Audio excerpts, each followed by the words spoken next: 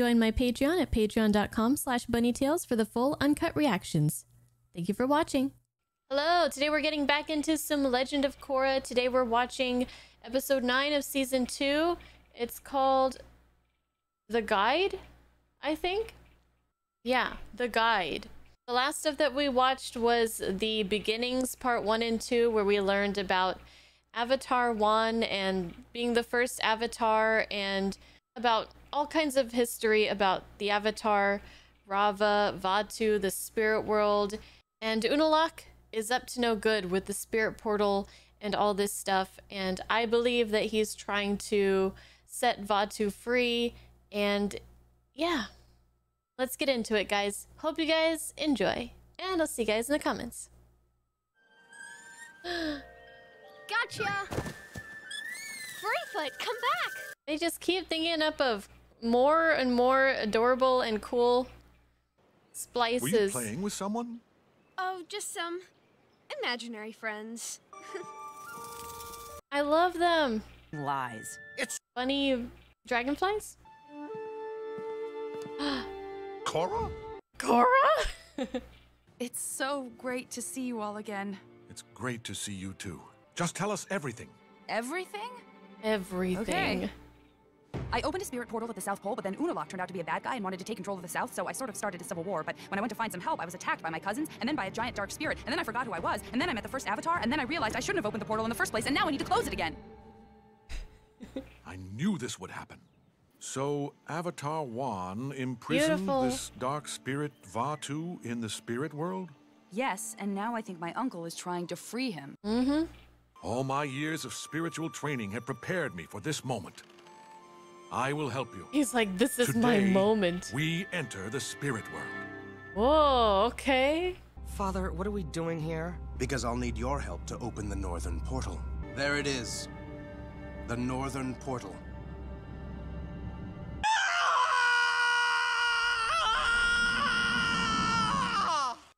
It's like George of the Jungle.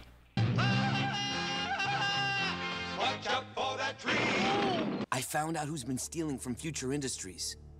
Varrick. He's my business partner now, not an evil mastermind. Mako, you seem stressed. I am stressed. Maybe you just need to relax. You're dating again? Korra just left a week ago! the detonators he uses in his movers are exactly like the one I found at the Cultural Center attack. And those explosions were exactly like the ones the captain reported when Asami's shipment was hiding. And he had an evil look on his face. Most importantly. Varrick's been looking for you. You're lucky. By this very garden is where my father met Guru Pathik. Wow. Oh, yeah. I remember.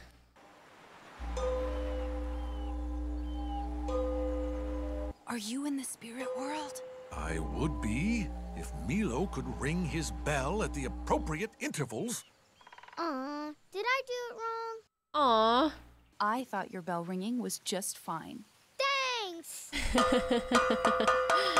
Kya, this is too much smoke. I'm sorry. I did what you told me. Well, the moment's ruined. Well, he's just gonna be a grump at everybody, huh? We could have tried a little longer. Oh, so these are spirits, and only what's her name can see them. She is very hey, in Jinora, tune What are you chasing? with the spirit Nothing. world.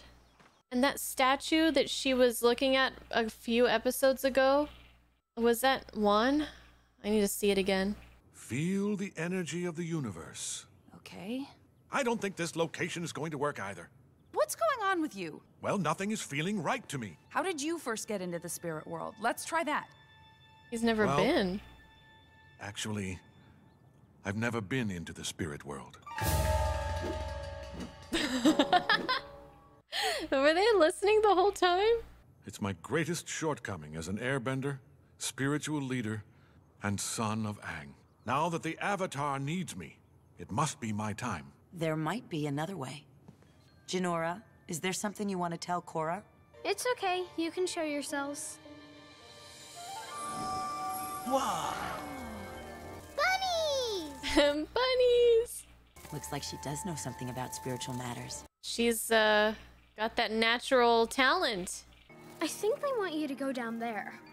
I don't know. No offense, but I'm guessing the spirits have actually been to the spirit world, so I'm gonna follow them. If we need to go to the Tenzin world, we'll call you. Tenzin, he's too tense. He's too grumpy. Together we can open this portal. Leave him. Keep bending. He needs a healer at once. This is more important.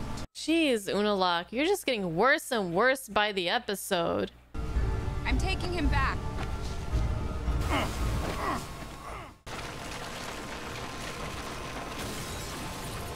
That was cool, but not strong enough. I hear you've got some ideas. You want to tell me about them? No. And I think you know that I know that you know. You know? We want you to join us. You wouldn't want anything to happen to Asami, would you? Is that a threat? Or what about your brother? What are you saying? Without you, who knows what could happen? The answer is no. Jeez. I'm gonna name you Bumju. It's short for Bumi Jr. Bumju? Don't you think he looks like me? He does. He's got the beard, the mustache. You actually got to meet the first Avatar. I saw how he became the first Avatar by fusing with Raava, the spirit of light. Yeah, that The was so Avatar's part cool. spirit? Of course. Just like the statue. It was the first Avatar. It was on the solstice. That's the day I opened the southern portal. Whoa. Whoa. Mind blown. Are you sure these spirits are leading us to the right place? Of course. I trust Bumju with my life. This is an ancient airbender meditation circle. I love how mystical and, I don't know, earthy like this place is.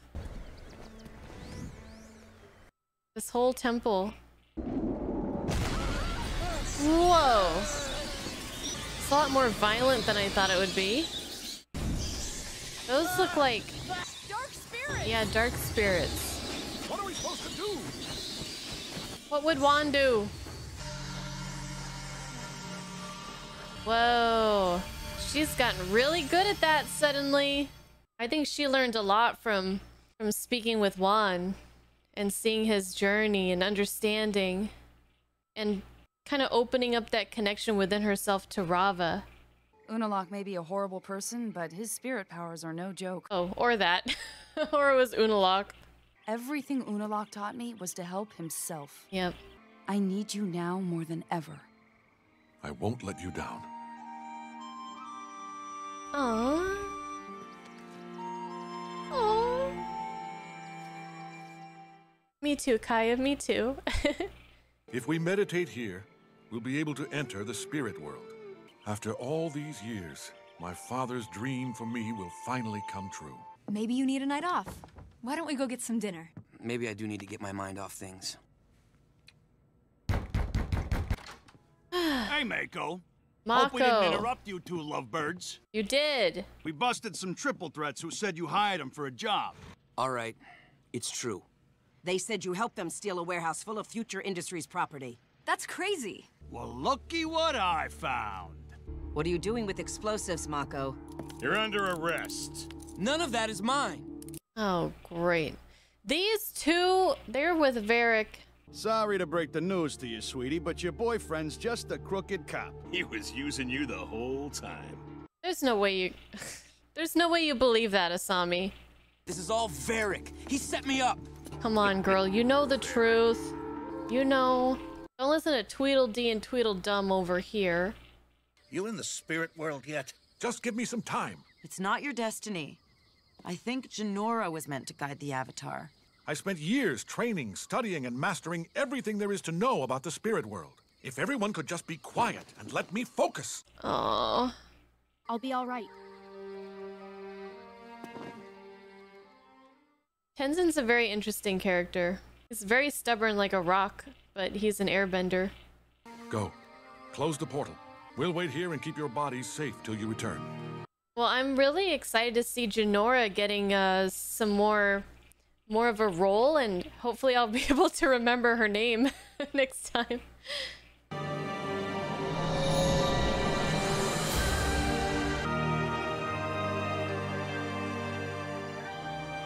Man. The Avatar is dead. I have failed you, Vaatu. The Avatar still lives. She has just entered the spirit world. Oh, we got this guy spying on us. One thing I really want to say is this uh, series, The Legend of Korra, they really, I feel like they just really upped the art direction, like the locations, the, it's just beautiful. I don't know. I just, I just love the settings that they are creating. The beautiful drawings, the colors, everything feels so magical, mystical. And since we've gotten out of Republic City, of course, Republic City um, is not really like that at all. It's kind of the opposite, kind of grungy and very industrial and things like that. But but again, I really loved the artwork of the previous two episodes where we took a glimpse into the past with Avatar Wan and this whole area around the air temple that they're at is just gorgeous. Like it feels so magical, mystical, and I love it so much. I love Tenzin. Tenzin is very amusing. He has a really good heart, but also I just feel like he's very high strung and he kind of feels like he knows everything.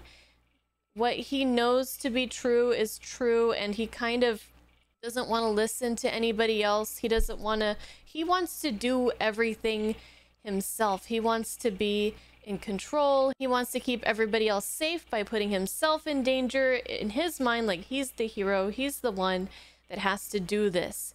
This is his destiny. He's trained for this. And it's been really interesting kind of seeing that struggle that he has and yeah, he does seem very kind of he's not he's not really like Aang. He kind of personality wise reminds me more of Toph.